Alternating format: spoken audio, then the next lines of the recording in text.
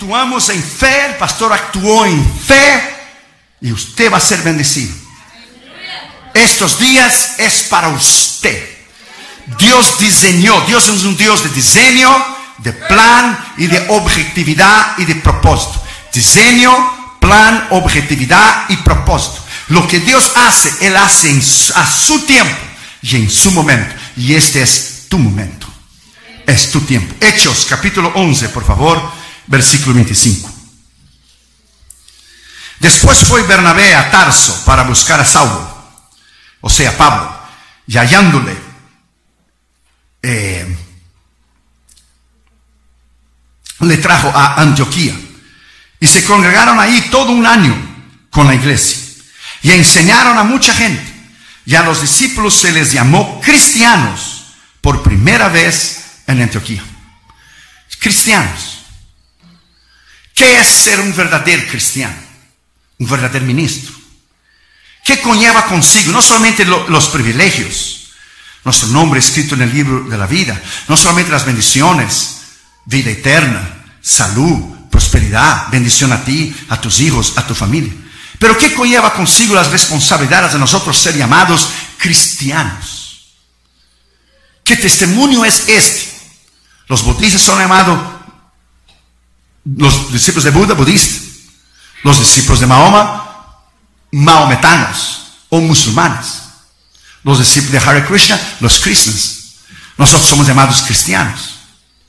¿Qué conlleva consigo? ¿Qué es nuestra responsabilidad? Abra tu corazón y abra tu mente para oír la voz de Dios. De nuestra responsabilidad para cambiar esta ciudad, para cambiar este estado, para cambiar esta nación y para cambiar el mundo. Vamos a orar. Padre, en el nombre del Señor Jesucristo. Háblanos con poder y autoridad en esta noche.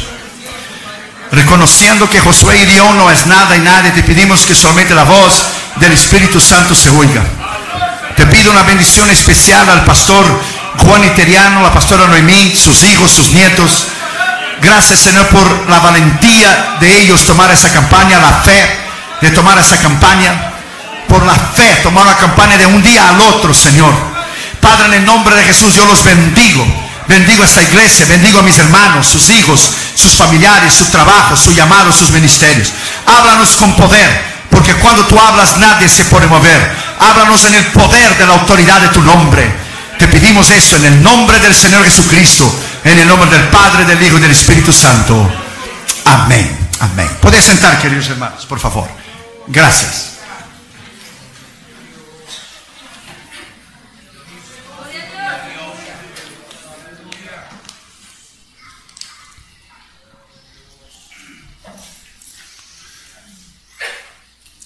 Una de las mayores necesidades de nosotros, de la iglesia,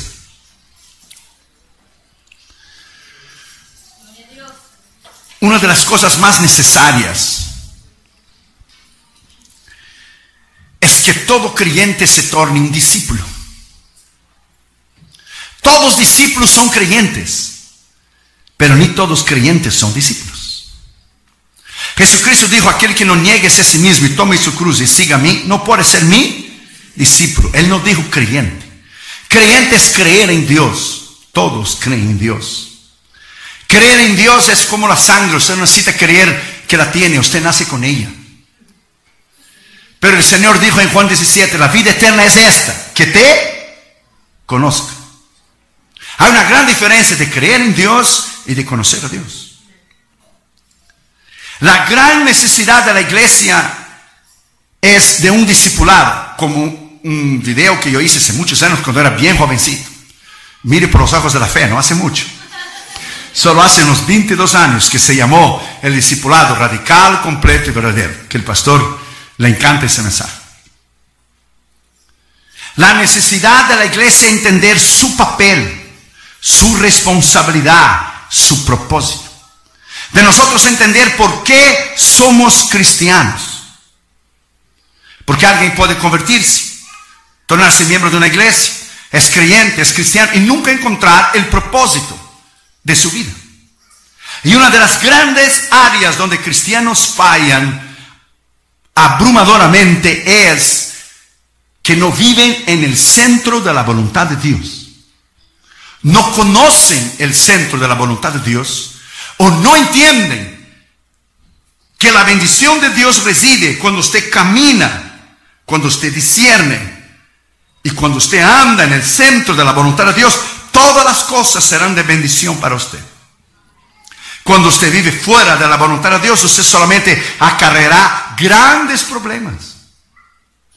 Porque alguien que vive fuera de la voluntad de Dios no está viviendo en el porcentaje del 100% de la bendición de Dios, de la salud, de la prosperidad y de todo lo que Dios tiene para usted.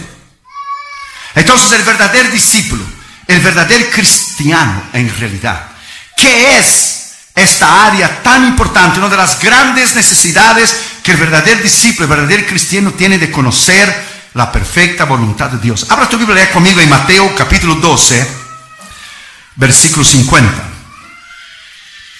Mateo 12 y el versículo 50. Dice, porque todo aquel que hace la voluntad de mi Padre. A lo que a lo mejor, maybe, perhaps, there is a possibility, tal vez. El que hace es una acción, es una decisión, es un libre albedrío. Usted puede hacer o no, la elección es suya. El que hace la voluntad de mi Padre que está en los cielos, ese es mi hermano y mi hermana y mi madre. La palabra aquí griega voluntad es la palabra telema. Presta atención, es una palabra usada objetivamente, quiere decir lo que se desea, lo que se designa del corazón que se quiere, y subjetivamente la emoción de querer algo. Pero tanto subjetivamente y tanto objetivamente tanto la realidad como las emociones, la perfecta voluntad de Dios es que Él manda, Él designa, He commands todas las bendiciones para que usted pueda tener cuando usted vive en el centro de la voluntad de Dios completa. Cuando usted vive en el centro de la voluntad de Dios completa. Usted va a predicar el mensaje cierto, si usted es ministro, a la iglesia cierta, en el momento cierto, y en la hora cierta, en el tiempo, en el, tiempo correcto. Porque lo que usted hace en el centro de la voluntad de Dios permanece para siempre. El apóstol Juan decía, la voluntad de Dios permanece para siempre. No cambia. Cuando tomé el teléfono y llamé al pastor italiano, yo oré.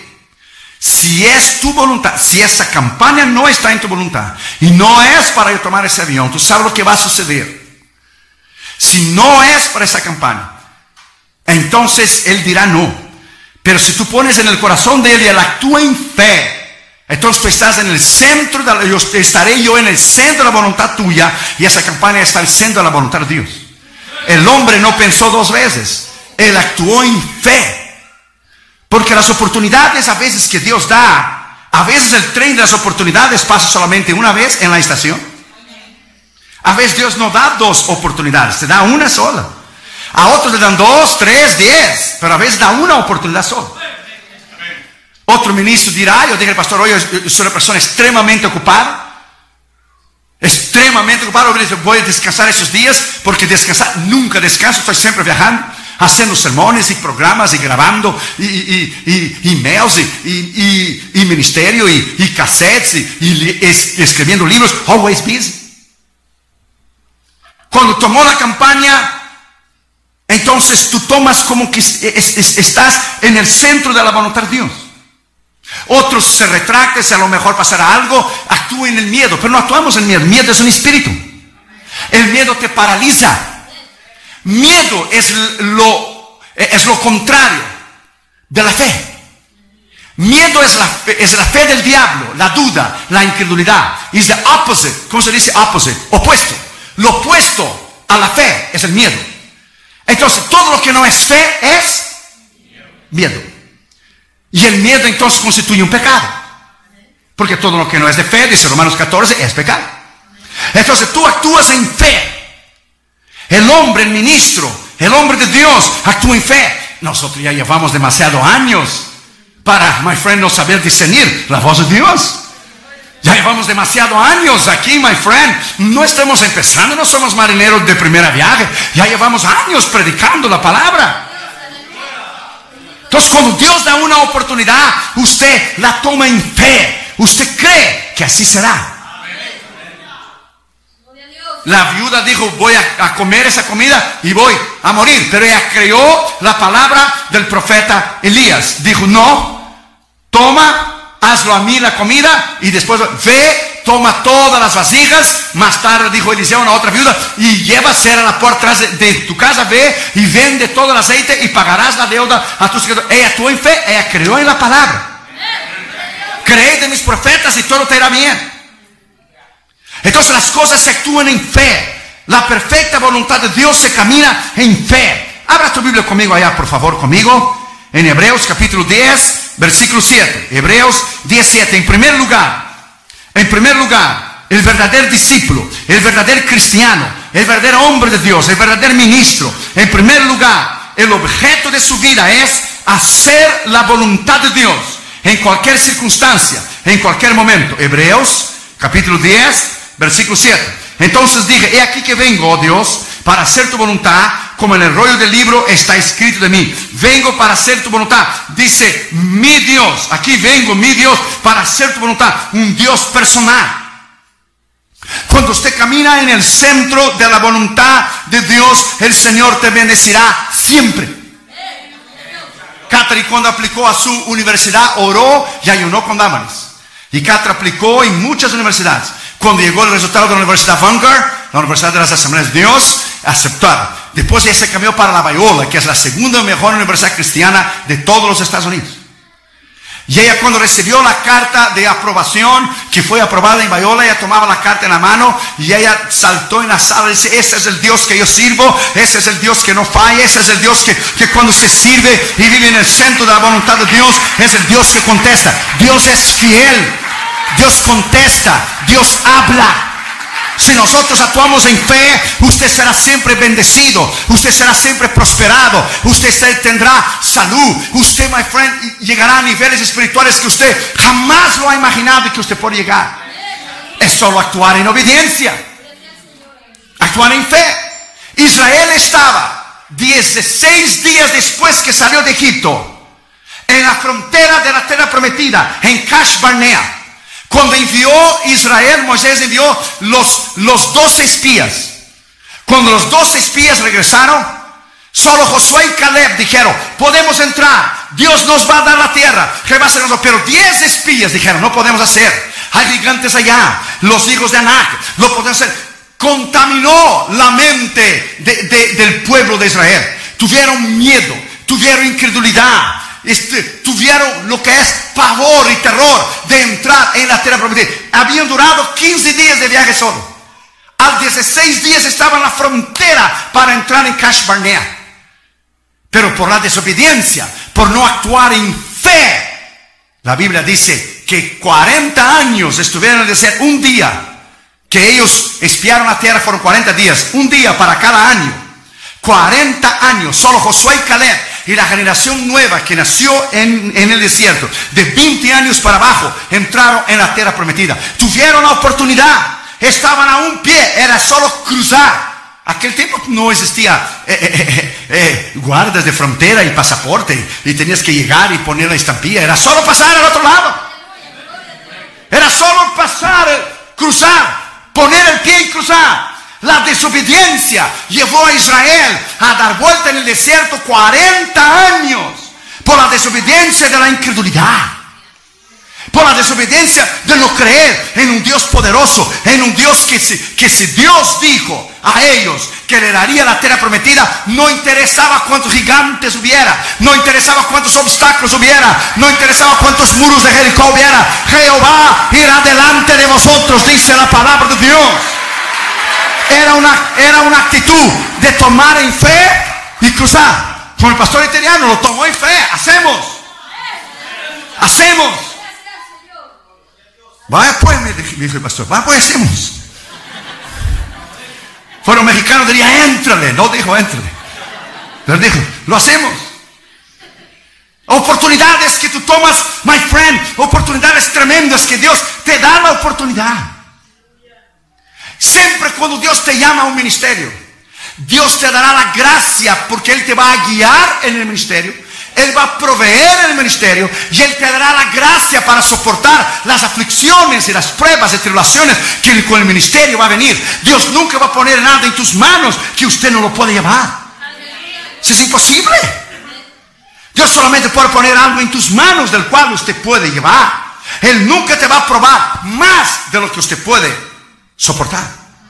Una vez un niño y su papá entraron en el supermercado y el niño venía llevando la canastilla chiquitita. Usted sabe que se marca el carrito, muchas cosas, pero hay una canastilla, ¿verdad? Chiquitita, por ejemplo en California, no sé aquí, que tú pones leche, un pancito.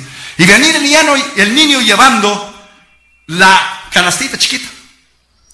Y el papá iba poniendo un pan, una galleta, y una señora se paró en el medio del paseo y dijo, pero ¿qué va? ¿Por qué usted, señor, no lleva la canasta de su hijo? Porque él tiene que llevar el peso. Y el niño se acercó a la señora dijo, calma señora, calma. Mi papá sabe hasta cuánto es de peso que él puede poner en la canastita. Tranquila, mi papá sabe hasta dónde yo puedo llevar. Tu padre sabe, mi padre sabe, nuestro padre sabe hasta dónde él puede poner a usted la prueba, la lucha, la tentación. Él sabe como la enfermedad del pastor iteriano. Ustedes oraron, ustedes resistieron, ustedes dieron de frente. Esto no fue una enfermedad cualquiera, no. Eso fue satanismo. El diablo te dio de frente para matar a tu pastor. El diablo te dio de frente para destruir esta obra. Fue satanismo. Alguna persona infiltrada vino aquí a hacer obra de brujería y hechicería para destruir esta obra, para destruir esta iglesia. Su pastor casi murió.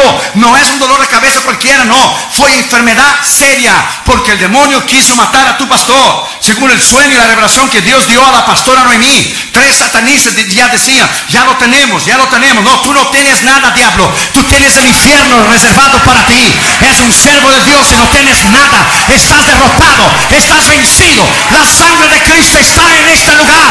El diablo no podrá hacerlo. Oh, alaba al Señor Jesucristo. Alábalo, alábalo. Alábalo. Tú no tienes nada, diablo.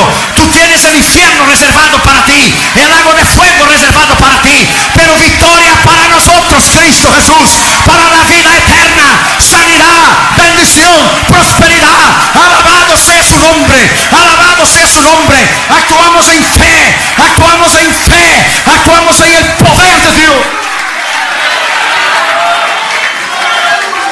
Segundo, el verdadero discípulo, el verdadero cristiano, el verdadero ministro, la ambición de su vida no es buscar mi voluntad. Es siempre la voluntad de que Él tiene para usted, cueste lo que cuesta. Ahora tu Biblia conmigo en Juan 5.30.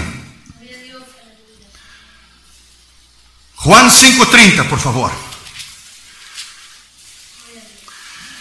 Dijo Cristo, yo no puedo hacer nada por mí mismo. Ahora usted calcule y piense.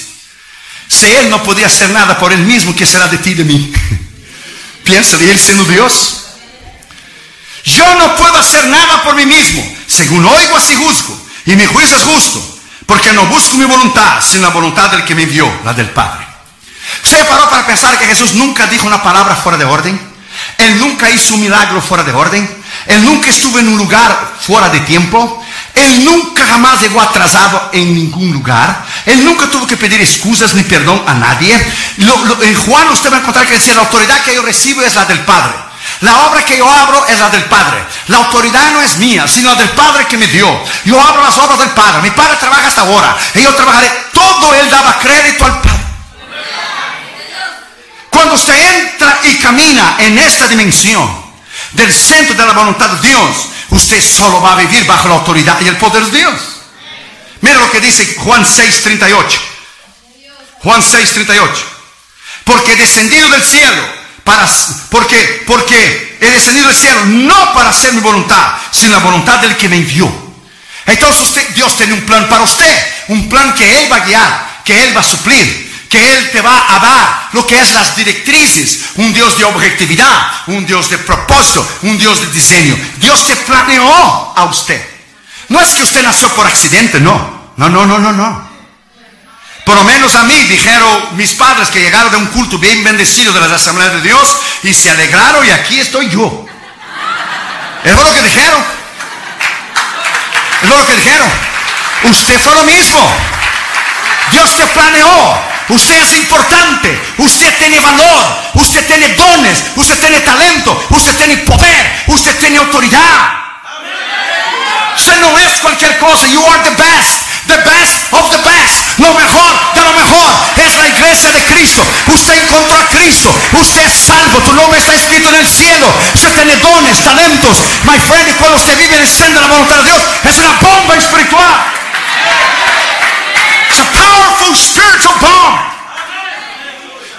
Usted, usted carga poder. Usted carga autoridad dentro de usted. Cuando alguien está enfermo, usted habla la palabra. Como Cristo habló la palabra a los enfermos, a los endemoniados, a los paralíticos, a los ciegos. Usted habla la palabra.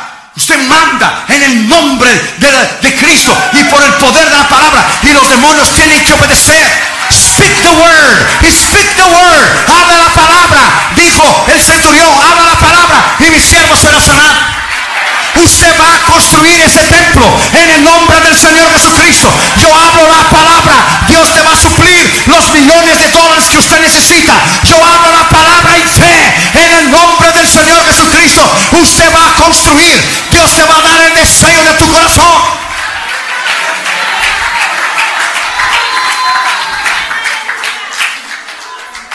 El diablo hubiera matado a- al pastor italiano cuando tuvo la oportunidad. Now it's too late, devil.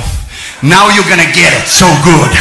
Now you're gonna get it so good. Get ready, devil. We are coming. We are coming against you in the name of Jesus. No lo puedes parar esta obra. No puedes parar este ministerio. No puedes parar lo que Dios tiene. Oh, cuando tuviste la oportunidad no lo hiciste. Pero ahora, de aquí en adelante, todo lo que tengo que mirar, nada más es solo arriba. Lo miro hacia arriba y camino en el centro de la voluntad de Dios y no podrás, no podrás detenerme.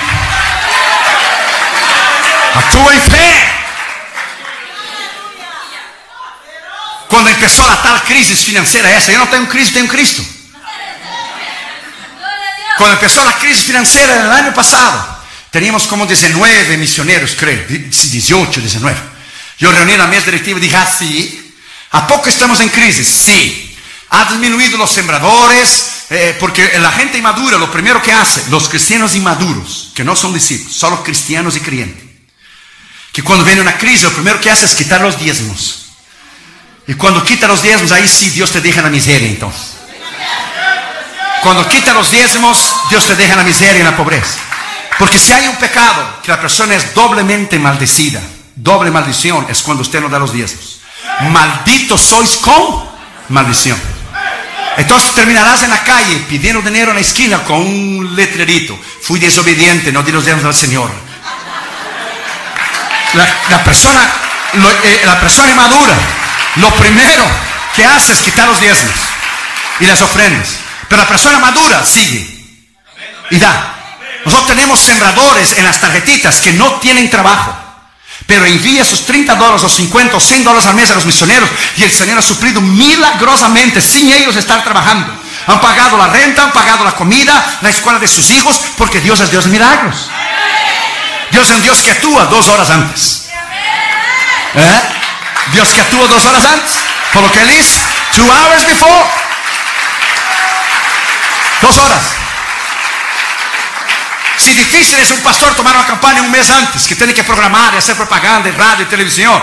Dos, tres semanas difíciles, dos semanas difíciles, una imposible, un día, imagina un día, dos horas. Toma un nombre de Dios para hacer eso. Entonces reuní la mesa directiva de la cita, ah, que, que la nación está en crisis, ¿cómo no? Pues vamos a poner entonces ocho misioneros más. Estaban las aplicaciones de los misioneros y pusimos ocho más, ahora tenemos 28. ¿Y cuándo Dios ha fallado? Jamás. Jamás Dios ha fallado, porque no falla. Quien falla somos nosotros. Uno de los atributos más grandes de Dios es su fidelidad. Su fidelidad es grande, dice la palabra. Su fidelidad es grande. Su poder es grande. Su poder es extraordinario. ¿Por qué? Porque caminamos según el consejo de su voluntad. Tercero, el verdadero discípulo, el verdadero cristiano, el verdadero hombre de Dios, el verdadero ministro, como el ejemplo que es tu pastor, en fe, que actuó en fe. En tercer lugar, el plan de su vida, el diseño de su vida es según el consejo de tu voluntad, no el mío. Tenemos esta campaña planeada. Y Dios dijo, eso es lo que tú planeaste, ahora lo voy a hacer lo que yo planeé. Abra tu Biblia ya conmigo en el Salmo 40, versículo 8. Salmo 40, versículo 8. Mira lo que dice ahí. El hacer tu voluntad, Dios mío, fíjate, es un Dios personal, me ha agradado o es el placer de mi alma. Tu ley o tu palabra está en el medio de mi corazón. Que es un deleite. Te voy a dar un consejo que usted nunca más se va a olvidar para el resto de tu vida. Y del cual va a ser muchos años, pues vas a vivir mucho rato. Nunca quieras nada para usted que Dios no quiere. Nunca desees nada para ti que Dios no quiere. En mi caso, no desees ir a un país que Dios no quiere. No desees predicar en algún lugar, en alguna nación que Dios no te quiere. Nunca quieras supuestamente una bendición, entre comillas, que Dios no quiere, porque esa bendición te puede tornarse una maldición. Dele gracias a Dios que hay oraciones que Dios nunca te contestó a ti. Porque si Dios te hubiera contestado todas las oraciones tuyas, tú no estuvieras aquí hoy. Dele gracias que hay oraciones que Dios no oye y no contesta. Porque si tú hubieras, o como yo, Dios contestado todas tus oraciones y Dios hubiera contestado fuera de la voluntad de Él, nosotros no estuviéramos aquí. Porque hay templos que Dios no quiso que usted comprara. La noviecita, el noviecito que tú, que tú tenías, que tú orabas, oh, I love him, oh, I love her, no era la voluntad de Dios. Y después te casaste en el centro de la voluntad de Dios y Dios te dio lo mejor. Dele gracias a Dios que cosas Dios no te dio porque no era su voluntad. Dele gracias a Dios que el plan de Él no es el nuestro. Porque si nosotros hubiéramos seguido nuestro plan, quizá ni vivos estaríamos más. Quizá ni vivos. Cuando nosotros recibimos una invitación afuera de estas, nosotros oramos y ayunamos. Cuatro tipos de invitaciones hay. Hay invitaciones que tú quieres ir a un lugar porque no fuiste antes. Hay invitaciones que el hombre te invita, pero no es la voluntad de Dios. Hay invitaciones que el diablo te quiere matar en alguna nación. Y hay invitaciones que Dios quiere que tú vayas, pero tú no quieres ir porque son países difíciles, cerrados, comunistas, musulmanes, cerrados a la palabra. Se prefiere ir a un lugar cerrado y que Dios quiere que tú vayas porque tú vas a ir y vas a regresar lo que ir a un lugar que no hay problemas para predicar, pero la presencia de Dios no va a estar ahí. Vas a ir fuera de la voluntad de Dios y vas a regresar en derrota. No va a haber milagros, no va a haber sanidad, no va a haber salvos, no va a haber nada porque Dios no va a bendecir. No va a bendecir. Entonces, my friend, eh, eh, eh, cuando usted vive en el centro de la voluntad de Dios, cuando Dios prospera, por ejemplo, un predicador panameño fue a predicar en Colombia hace muchos años atrás. Dios le, dijo a él, predique solo en Bogotá y regrese. No vaya a ningún lado más. Él fue, predicó, fue un éxito la campaña. Un pastor de Medellín le invitó y dijo, venga, te voy a dar una buena ofrenda, te voy a pagar el avión y el hotel, la comida. Él desobedeció al Señor, Dios le había dicho que fuera solo a Bogotá. Fue y predicó la primera noche, el segundo día se enfermó. Pidió el carro del pastor para ir a la farmacia. El carro del pastor era avisado por la guerrilla comunista colombiana. Cuando él venía por la carretera, le dieron 42 tiros. Él está en el cielo, pero murió antes del tiempo. Murió fuera de la voluntad de Dios. Completamente. Entonces, my friend, usted tiene que entender que cuando usted está fuera de la voluntad de Dios, Dios no tiene responsabilidad con usted. El ángel de Jehová campa alrededor de aquellos que le temen a Dios y los libra. El que no teme a Dios, el que no anda su voluntad, el que hace lo que quiera, Dios no tiene responsabilidad. Por eso usted ve cristianos jóvenes morir de accidente. ¿Cómo es posible que si tenemos 6 billones de personas en el mundo, cómo es posible que ministros jóvenes están muriendo? O por salud, o por accidente, ministros de 30 años, de 40 años, de 45, de 50 años, ministros jóvenes están muriendo. ¿Cómo es posible? Si la mies es mucha y los obreros pocos, y los pocos están muriendo, entonces algo nosotros estamos haciendo mal. Algo nosotros estamos haciendo equivocado. Porque todos culpamos al diablo. Es igual a la salud. El pastor me dijo que cambió su dieta completamente. La carne roja y la popusa esa nadando en la grasa, que es un graserío terrible. Buena al momento. Pero después el trancazo que te cierra todas las arterias del corazón. Y popus de revuelta y de chicharrón y de queso y, de, y, y- y- todo es muy sabroso. Al momento es good, pero después viene el trancazo. Y todos culpamos al diablo. El diablo dice, yo no como popusa, ¿qué pasó? ¿Qué comiste de tú?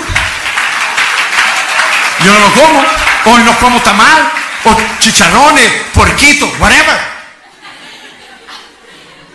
Entonces, hace algunos años atrás, como dos, la presión mía explotó, me llevó de emergencia al hospital, 170 con 100. Lo mismo que sucedió con el pastor, fue más, ¿verdad, pastor? Mucho más. Entonces el diablo quiso matar a ese hombre, ya de paso digo, pues ya vamos a ir juntos. ¿Qué pasó, chiquito? No se puede. No se puede. Cuando llegué al hospital, ¿qué hace ministro? Dijo, eh, los ministros es la profesión número uno, el que muere con el ataque al corazón. Tienes que comprar una ma- maquinita, un treadmill, caminar todos los días, correr todos los días, hazte miembro de un gimnasio, ve a nadar, ve a correr, disminuye de peso, quita toda grasa, la carne roja, de vez en cuando, quítalo, that's. Entonces empecé a bajar, bajé 30 libras. Porque el diablo cuando no te derrumba en adulterio, ni orgullo, ni finanzas, si él toca tu salud, él llegó a su objetivo. Él no derrumbarte, matándote, está bien. Tú vas al cielo, pero ¿cuántas almas dejarán de oír el Evangelio por las malas decisiones que usted tomó? Él sabe que vas al cielo, pero Él te mata en, la salud tuya, porque se está haciendo algo fuera de la voluntad de Dios. Estás haciendo daño a tu cuerpo, que es el templo del Espíritu Santo. Es no actuar en sabiduría. Entonces hay que hacer un plan en tu vida. Usted tiene que delinear, usted tiene que planear. Usted tiene que saber que todo lo que usted hace tiene consecuencias. Todo lo que usted dice, decisiones que usted toma para tus hijos, para tu familia, tiene consecuencias. Si usted obedece y camina en fe y vive una vida íntegra y una vida recta, usted será bendecido, usted será prosperado. Pero si usted desobedece, usted abusa de su cuerpo, usted va a tomar la consecuencia. Tenemos que caminar bajo el plan de lo que Dios lo ha delineado. La, objetividad de nuestra vida consiste en nosotros no correr, sino caminar, porque Dios no tiene prisa, Dios camina. Dios camina.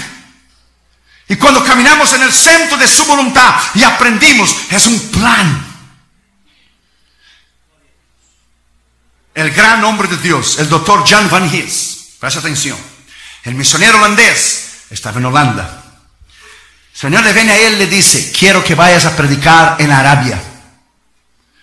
Él dijo, Señor, tú sabes que ellos no permiten misioneros entrar. El Señor dijo, yo lo sé, pero yo quiero que tú vayas de cualquier manera. ¿Y cómo yo voy a ir? Ve a pedir la visa en el consulado.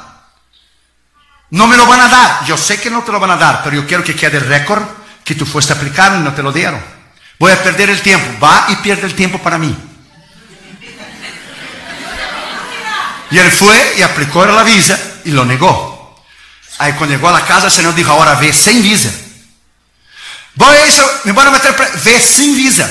Compra el ticket, solo te van a pedir la visa cuando tú llegues allá. Y Yo no te aconsejo que tú hagas eso ahora, porque te van a meter preso. Y eso no era aquellos tiempos antes de septiembre 11, ahora las cosas están difíciles. Cuando llegó a la Arabia, el hombre buscó el hojita del pasaporte y no lo encontró. Dijo, usted no tiene visa. Y dijo, yo lo sé que no tengo. ¿Y cómo usted va a venir para entrar en nuestro país si no tiene visa? Dios me dijo que yo viniera. ¿Cuál Dios? Mi Dios, el único Dios. El hombre musulmán, por supuesto. Ahí se formó el tremendo problema. Él sacó su Nuevo Testamento árabe y abrió en Marcos 16:15 dijo. Y dijo Jesús, id por todo el mundo y predicar la palabra a toda criatura. Y dijo el doctor John Van Hees, aquí está mi visa y mi permiso para entrar en Arabia. El dueño del mundo me dio el permiso de entrar en Arabia. El hombre le miró a él y le dijo, are you crazy or something? Y dijo el doctor John Van Hees, Arabia es parte del mundo. Dijo el hombre, of course. Claro. Entonces está incluido aquí. Cristo dijo, ir a todo el mundo. Se formó el tremendo problema. Se formó tremendo problema.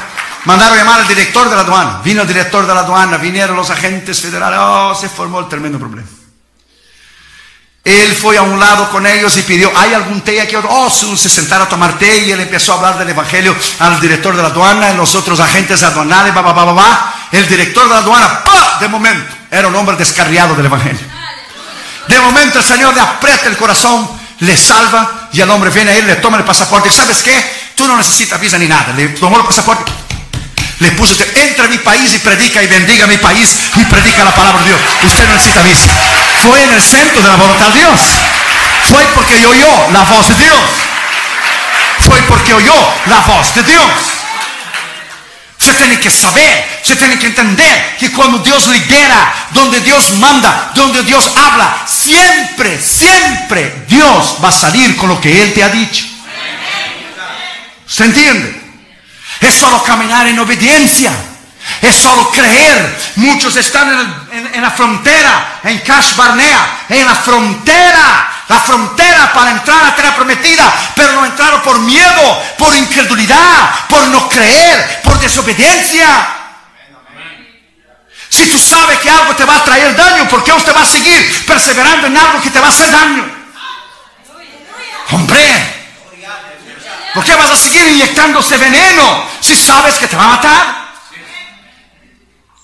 Usted no debe persistir en algo que no es el centro de la voluntad de Dios. Yo pregunté a Catherine el otro día, Catherine, dime la verdad.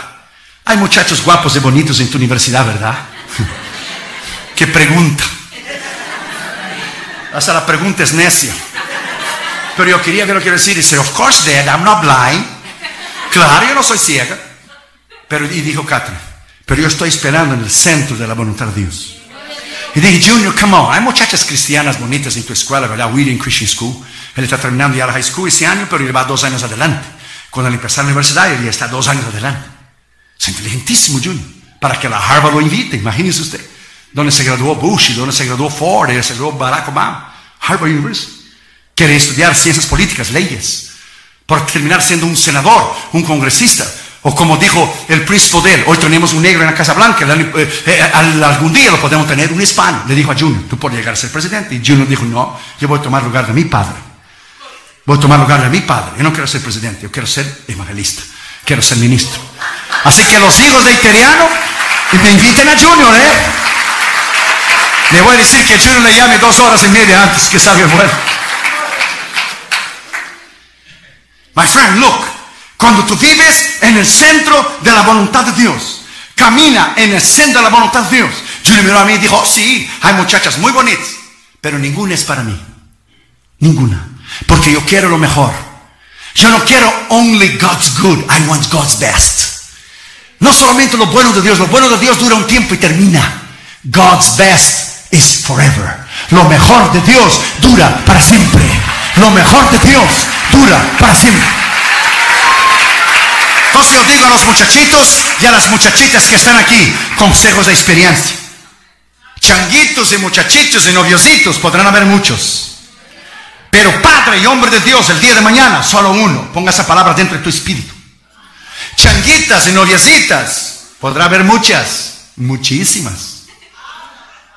Pero mujer de Dios, madre y tremenda esposa de un ministro, solo habrá una. Porque el pastor italiano venía ayer hablando en el carro que si no fuera por su esposa en esa tremenda enfermedad que le pasó, él no lo hubiera resistido. De la tremenda mujer de Dios que es la pastora Noemí. Porque nosotros tenemos el día del pastor. Que el día del pastor y el día del pastor. ¿Por qué no hacer el día de la esposa del pastor? De las mujeres de Dios tremenda que caminan con nosotros. El día de la esposa del pastor. Porque nuestras esposas son mejores que nosotros. Dámales ahora esta invite un día de ayuno y oración. Son mujeres tremendas, mujeres que Dios nos dio en el centro de su voluntad. Pide que Dios te dé lo mejor, my friend. So you wait. Imagina Kate con 19 años, no tiene novio.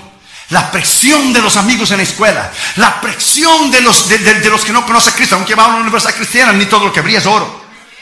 Porque salen los demás, fines a novio, y ella está firme contra el Señor. Imagina a Junior, 17 años. Y él es alto, juega basquetbol para la escuela, es de 6.3. Es enorme. GPA 4.6. El otro día hizo el SAT para entrar en la universidad. Sacó 96% más inteligente de todos los muchachos que estaban haciendo el examen en el mismo momento. Más, más inteligente que 2 millones y 700 mil personas en la misma hora. Es una eminencia, Josué un de inteligente. Imagina la presión de los amigos que sale el fin de semana, que vamos a salir aquí, que vamos a ir Starbucks, que vamos a dar una vuelta a, la playa, que vamos a venir, que vamos a hacer eso. Y él firme esperando en el Señor. Porque Dios lo va a honrar, así como Dios va a honrar a tus hijos, así como Dios va a honrar a tus hijas, porque Dios tiene lo mejor para nosotros. Dios tiene lo mejor.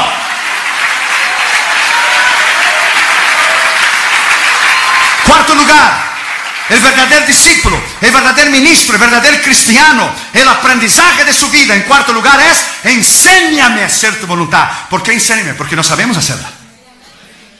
Ahora tú vives en el Salmo 143, versículo 10. Salmo 143, versículo 10. Enséñame a hacer tu voluntad. Se enseña, decía David, porque no, no sabemos. Porque tú eres mi Dios, un Dios personal. Tu buen espíritu me guía a tierra de rectitud. O me guía al trabajo correcto. Me guía el novio, la novia, mi esposo, mi esposa. Me guíe, me guíe, me guíe. Yo he visto ahora por la crisis evangelistas tornarse pastores por tener un salario fijo, por tener una seguridad financiera y se destrozaron sus ministerios. Porque el evangelista no tiene salario fijo. Nosotros vivimos por fe. Lo que entra, entra. A veces entra más, entra menos. No entra casi nada. Well, tú vives por fe. He visto evangelistas ponerse de pastores, pastor italiano.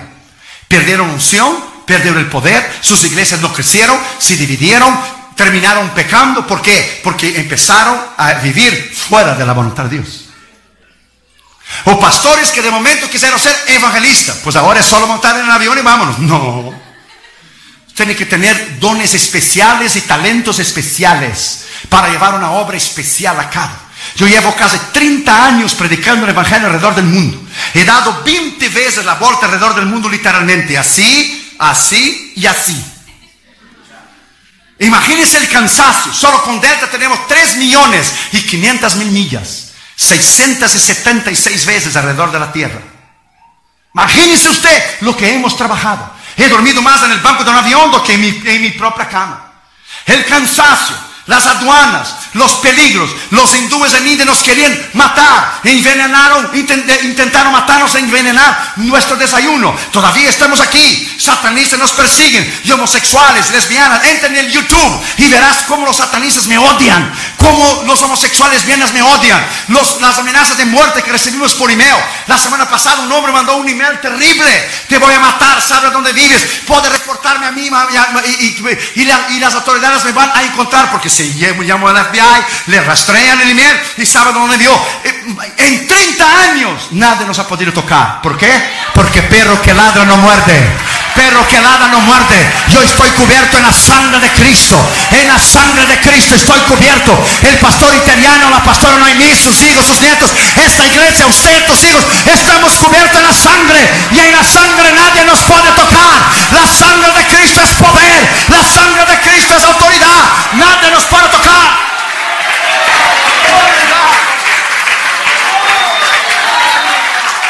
Usted está aquí para vencer. You are here to win. Entonces el aprendizaje de nuestra vida es, enséñame, estamos siempre aprendiendo. Siempre aprendiendo. Aprendimos algo nuevo ahora para esta campana que Dios hace un milagro dos horas y media antes. Para ser más específico, dos horas y quince minutos antes de salir el avión. I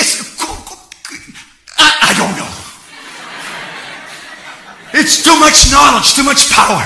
Es como el Salmo 139. Eh, ni procuro entender porque no se puede entender. Eh, eh, es demasiado maravilloso para mí.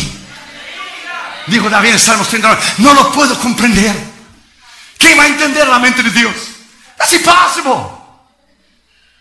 Entonces, my friend, estamos aprendiendo cada día, aprendiendo cada día, caminando en fe cada día, viendo milagros cada día, creyendo en un Dios poderoso cada día. Aunque, my friend, estamos eh, eh, en esa dimensión, eh, no militamos en la carne, andamos por fe, no por visión. No andamos por lo que vemos. Si va a caer nieve, si no va a caer nieve. So what? Dios pone que la nieve saca allá para Alaska, manda la nieve para afuera, whatever. Y si viene o no, no interesa. Lo actuamos en fe, lo hacemos en fe.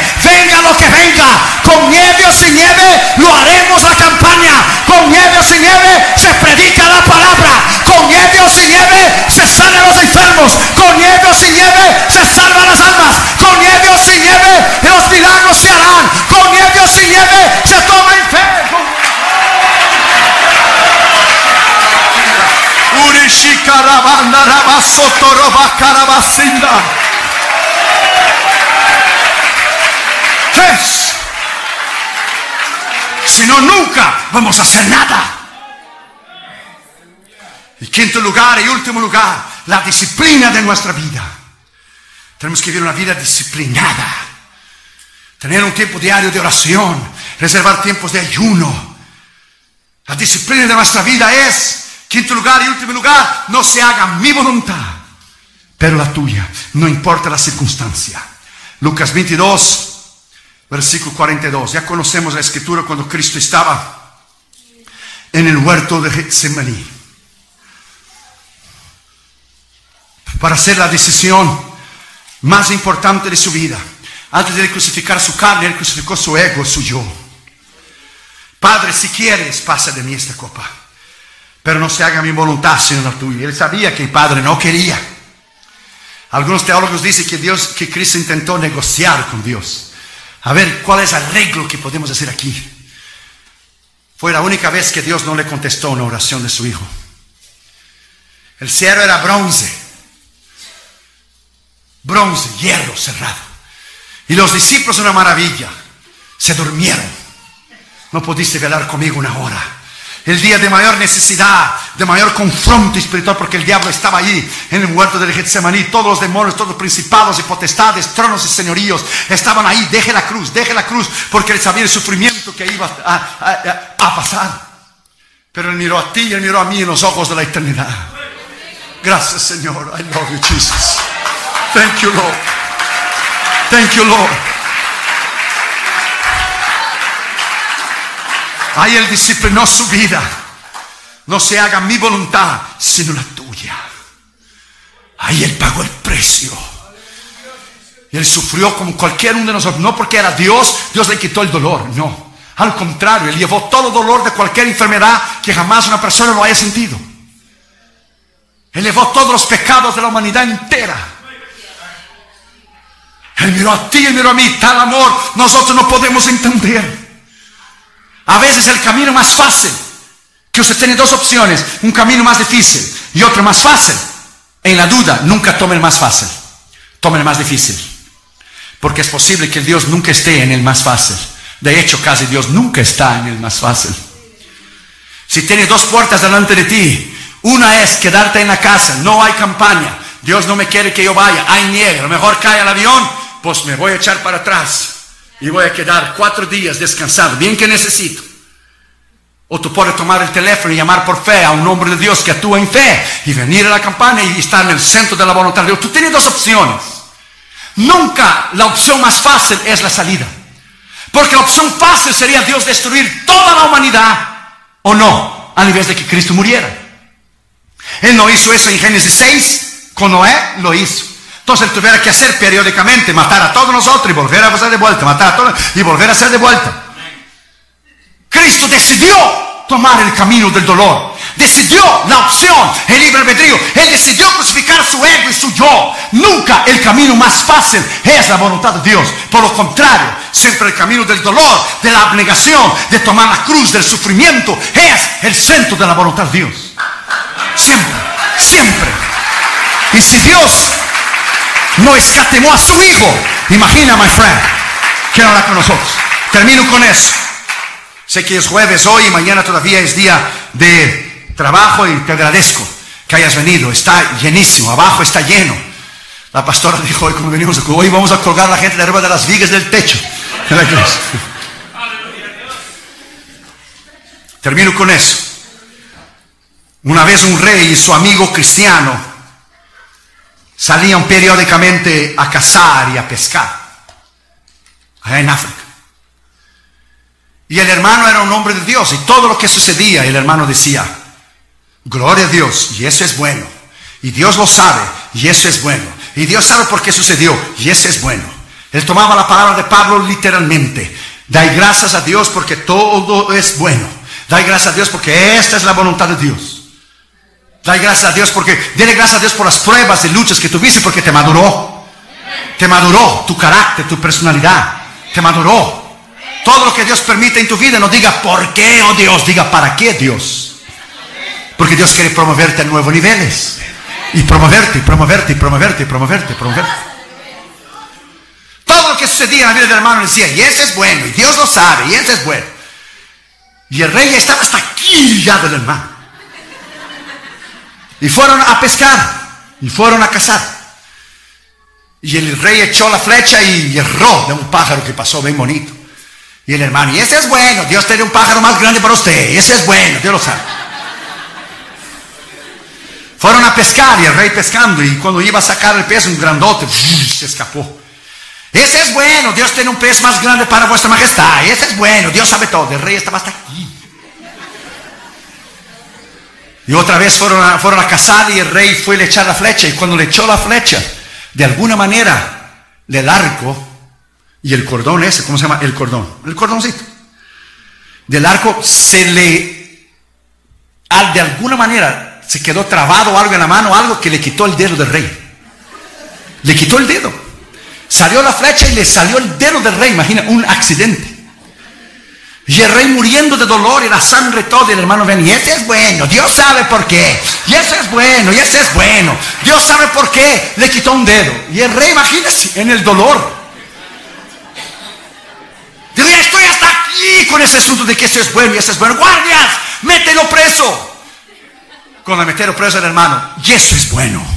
Dios sabe por qué voy a ir preso. Porque Dios conoce todas las cosas y en el centro de la voluntad voy. Pues ya llévenselo a verse allá en la casa de tu esposo y tus hijos. Va a ser bueno. Y eso es bueno. Dios sabe por qué. Eso es bueno. Eso es bueno. Pasó el tiempo. Y el rey se curó del dedo. Y fue a cazar de vuelta. Y cuando estaba cazando vino una tribu enemiga y le tomó el rey. Una tribu caníbal. Gente que come gente. Y lo llevaron preso. Y cuando lo llevaron preso, le pusieron fuego, le pusieron la olla y lo iban a comer. Y estando listo, y cuando lo iban a comer, se dieron cuenta que faltaba un dedo. Entonces tuvieron una reunión rápida los caciques de la tribu o algo. Y por una intérprete le vinieron al rey y dijeron, nosotros tenemos una costumbre en nuestra tribu que no podemos comer a nadie que le falte un pedazo del cuerpo. No podemos comer a nadie, a usted le falta un dedo. Así que le vamos a dejar salir libre. Salió el rey, salió el rey alabando a Dios. Ahora yo entiendo por qué Dios permitió que, que, que, me saliera un dedo. Mejor perder un dedo do que ser comido vivo. Alabado sea Dios y fue a pedir perdón al hermano. Fue a la cárcel, perdóname mi amigo, te dejé lejos de tu esposa, de tus hijos, perdóname, te metí preso. Y dijo el hermano, no, no tienes que pedir perdón, yo tengo que agradecerte a ti. ¿Y por qué? Porque yo sí tengo todos los dedos. Si yo estuviera contigo, a mí me hubieran comido, pero yo estaba preso. Dios es tremendo, Dios es tremendo. A Él la honra, a Él la gloria, a Él la alabanza. Todo lo que pasa, todo lo que sucede, es la voluntad de Dios para usted. Tómalo como aprendizaje, tómalo como disciplina, tómalo, my friend, que Dios te está guiando, Dios te está enseñando. En esta noche tenemos la victoria en esta campaña. Alábalo en esta noche, alábalo en esta noche. Si tu Dios está muerto, guarda un minuto de silencio. Pero si Él está vivo, alábale. Si Él está vivo, alábale, alábale, alábale, alábale. Alábale, si Él está vivo, alábale, ponte de pie y alabe su nombre. Y este es bueno, denle un aplauso al Señor Jesucristo. Y este es bueno, y este es bueno, y esto es bueno. Dios sabe por qué. Dios sabe, Dios conoce, Dios sabe el mañana, Dios conoce tu vida, Dios conoce tus límites, Dios conoce tus cargas, y eso es bueno. Levanta tus manos y lo alaba. Levanta tus manos y lo alaba. Levanta tus manos y lo alaba. Levanta la unción de Dios está aquí. El poder de Dios está aquí. Levanta tus manos y lo alaba. Levántala, dele a él la honra, la gloria, la alabanza.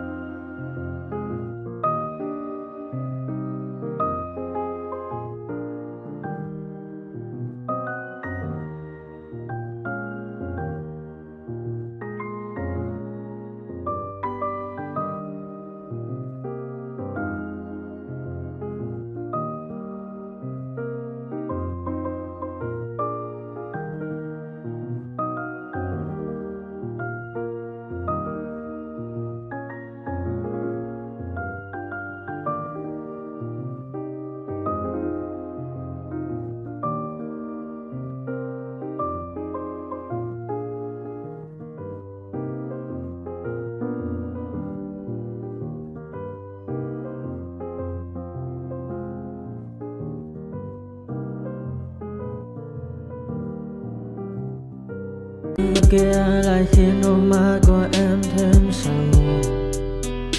À, Vì sao em đi càng để lại lý trí Chẳng để lại anh khi nước mắt cần rơi? Cần rơi Vì sao em đã vội quên đi bao câu hứa Mình còn cho nhau? Quên đi bao nỗi đau mình dành Vì giờ em đã vội quên đi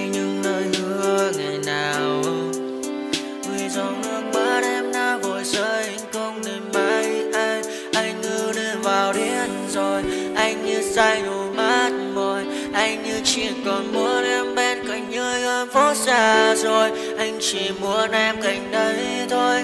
Không muốn em ở bên đời. Chỉ muốn em anh bên người. Oh, oh. Người đã gỡ bước đi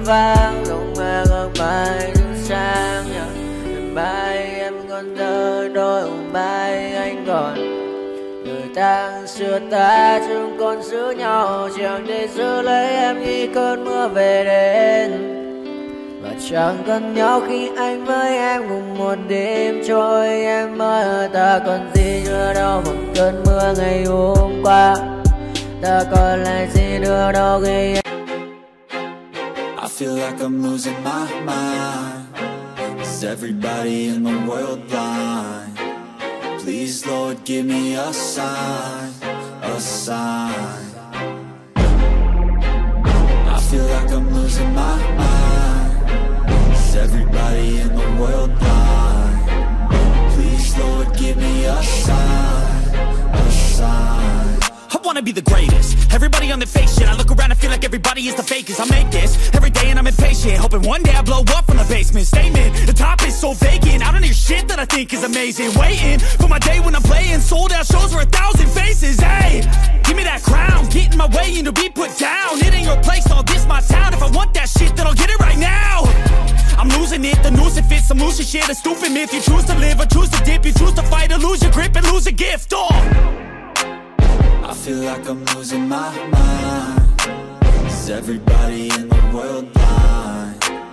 Please, Lord, give me a sign, a sign. I feel like I'm losing my mind. Is everybody in the world blind? Please, Lord, give me a sign, there's no mercy in this world, just hunger thirsty persons in different versions. Each new update, that shit worsens. Why? Pull back the curtain and you'll see the different vermin. We all have different burdens that all seem to cause disturbance. Yo, so do me a favor, don't treat me like a neighbor. Don't need the different flavors of your problems just to savor. I've got my own issues, I need a comb to get through. Don't need to groan with you, just go get your own tissue. I feel like I'm losing my mind. Is everybody in the world blind? Please, Lord, give me a sign.